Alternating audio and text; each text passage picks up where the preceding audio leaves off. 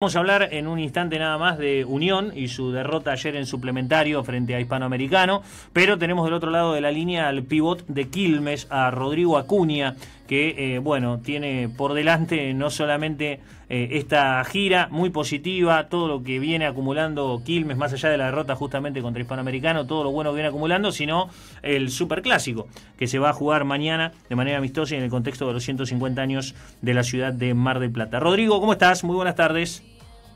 Hola chicos, buenas tardes. Acá estamos, como dijiste, como dijiste recién, viendo un clásico, así que pensando un poco en lo que va a ser eh, el partido de mañana. Un clásico raro, ¿no? Porque les tocó jugar contra Peñarol, pero en, el, en la previa de un campeonato que estaba bueno porque les servía para, para ejercitar, para probar algunas cosas pero a mitad de competencia es eh, muy distinto, ¿no? Porque vienen acarreando eh, en algunos casos varios kilómetros, eh, acumulación de partidos, hay que pensar en lo que viene, que están los dos equipos, tanto Peñarol como, como ustedes, en una fase muy importante de la temporada, y en el medio aparece este, este partido, ¿no?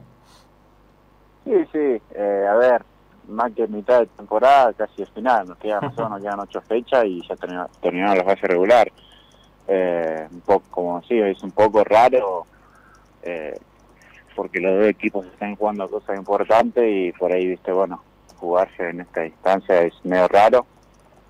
Eh, pero bueno, nada, mañana la verdad que una vez que arranca el partido ya no se olvida de las demás cosas y se piensa en el clásico por lo que eh, por lo que es en realidad. Pero bueno, nada, lo afrontaremos de la mejor manera.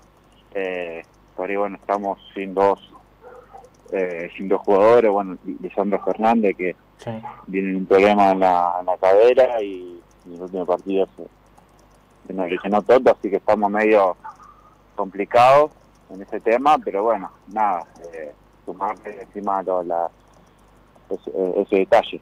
Claro, sí, bueno, ese es el tema. Cuando me refería a mitad de temporada, quiero decir en pleno transcurso de la misma, ¿no? si, bien ya ustedes están jugándose mucho y lo importante que ha sido eh, dentro de, esta, de, este momento, eh, todo lo que han podido acumular, esas cuatro victorias en casa con la carga emotiva de la vuelta del José Martínez, más la primera victoria fuera de casa que recién pudieron conseguir en un angustiante partido contra Gimnasia de la Plata. Bueno, están quizás dentro de uno de los mejores momentos de ustedes en la temporada, ¿no? Sí, sí, sin duda. A ver, eh, eh, está claro que uno de los mejores. Venimos eh, ganando los últimos seis partidos de siete. venimos en remontada. Estamos peleando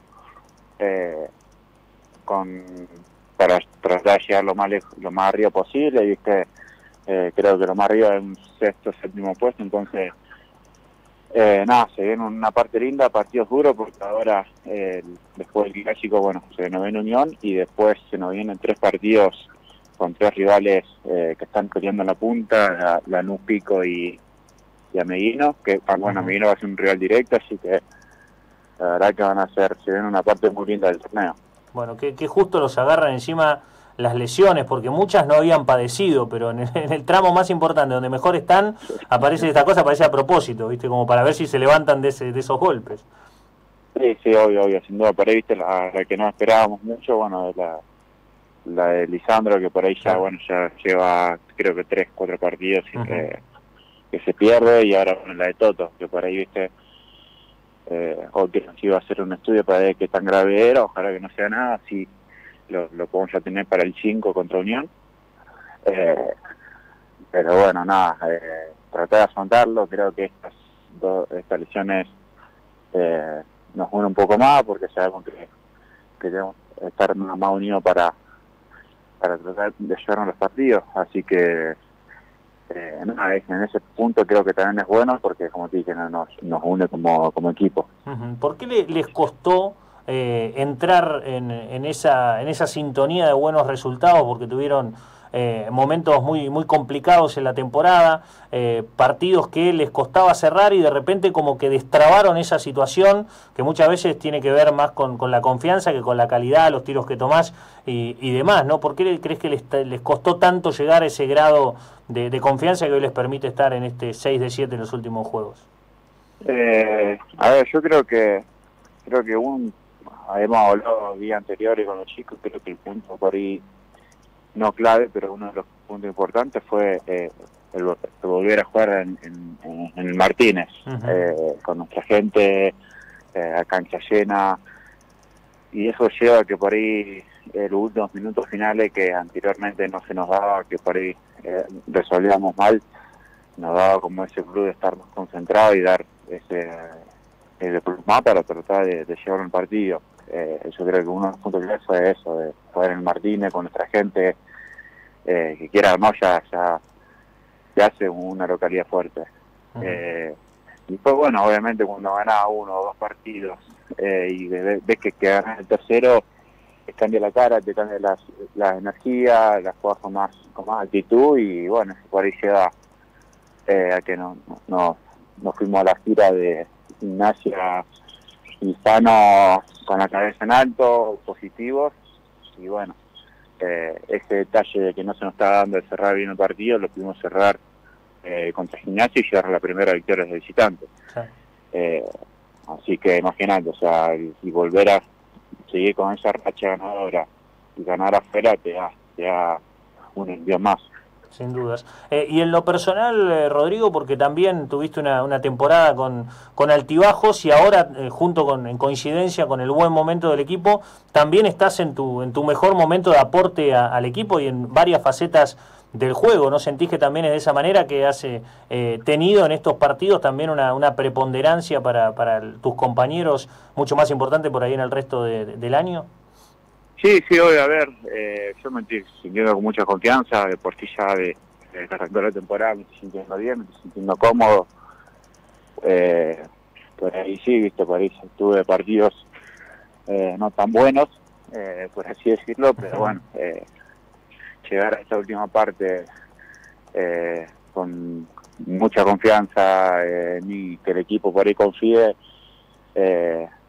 está bueno y yo creo que eso es parte de esto de que, como te dije hace un ratito, de que este, estas lesiones eh, ahora podamos haya otra vía de gol eh, y el equipo empieza a, confiar más en el otro que, que, tiene al lado, así que creo que eh, son, son, puntos positivos que, que se nos dio. Eh, y nada, es como dije, esto es no soy yo, eh, siempre lo digo, o sea, es siempre esto ayuda de, de, que estemos al lado del equipo, del entrenador, por la confianza que me dan, así que eh, la verdad estoy contento por el presente que estoy teniendo y ojalá, bueno, eh, lo pueda seguir teniendo acá hasta, hasta que, hasta la temporada. Claramente. Eh, hablando de, la gente que tenés alrededor, ¿no? ¿Qué compañeros en, la pintura? Porque eh, Agustín Ecker, que está teniendo otra muy buena temporada como había tenido la, la, anterior, eh, es silencioso, es callado, no le,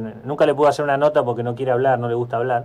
Eh, pero, digo, es un, es un, toro, es una bestia constante, no baja. Y bueno, lo mismo con, con Tomás Berbahuede, ¿no? Con Toto Berbahuede, que está teniendo una temporada cuando le toca asumir el rol de, de recambio lo hace muy bien y cuando le toca sumar mucho minutos también lo, lo está haciendo. En la pintura tienen jugadores muy interesantes, incluido tu trabajo, por supuesto. ¿no? Sí, sí, a ver, eh, creo que por sí tenemos un gran equipo, no solo en la zona, en la zona pintada, sino también como en la, en, zona de, los perimetrales. Eh, yo la verdad estoy contento del, del trabajo, este último trabajo que estamos teniendo. Eh, y después lo que decís de Agustina, que la verdad que eh, hace un trabajo en silencio, te aporta mucho en defensa, eh, siendo del club, eh, lo, lo, lo, digo con más agresividad eh, y eso es eso te contagia también, viste, no solo a mí, sino a tú también, y hace que los tres tengamos buenos buenos partidos y aportemos de, de la parte nuestra. así que la verdad que, como que dije, estoy contento por los compañeros que tengo y, nada, creo que eso se camina para para seguir escalando y obviamente tratar de llegar, lo más llegar a la mejor manera al playoff y a partir de ahí eh, empezar a, a, ganar eh, en, esos puntos. claramente. Bueno, ahora decías se viene eh, Unión, eh, Unión de Mar del Plata en el Polideportivo, y después los partidos con, con Lanús, con Ameguino y con Pico, que se van a jugar en el José Martínez. Era clave esto, ¿no? Porque si no, ¿para qué? sí, sí, sí. Eh, creo que el, jugar ahí en el, en el, Martínez es clave, más con rivales que son eh, que son duros, bueno, están se está demostrando que están peleando, están peleando arriba. A Meguino ya sabemos lo, que da, viene de, de jugar finales en las últimas temporadas. París se le está complicando un poco la zona sur, pero bueno, no quita que es un, es un gran equipo y bueno, para nosotros es un rival directo. En un principio es tratar de ganarles eh, y después, bueno, tratar de ganarles por la diferencia. Creo que nosotros habíamos perdido por 7, 8 puntos allá, y tratar de recuperar, cosa en un eh, de, fase regular, hay que pelear en una posición y estemos arriba de ellos. Bueno, Lanús y Pico eh, son los dos primero y segundo, así que creemos que va a ser un partido duro. Eh, no tengo duda que la gente va a acompañar. Eh, van a llenar la cancha como, como llenaron siempre ahí en el Martínez y, bueno, va a ser una, un, muy lindo partido. Sí, sin duda. Lindo tramito se viene, clásico incluido en el día de, mañana y después esto, estos partidos claves, ¿no? Importantísimos realmente. Eh, Rodrigo, gracias por el tiempo y bueno, éxitos en este tramo final. Ojalá puedan meterse ahí en playoff lo, lo más arriba posible. Un abrazo grande, gracias. Eh. un abrazo grande y gracias a ustedes por la nota. Hasta luego. Bueno, Rodrigo Acuña, sí, el eh, jugador de, de Quilmes en este momento, ¿no? Del equipo eh, marplatense que le vienen partidos durísimos, ¿no? Se agrega este dato de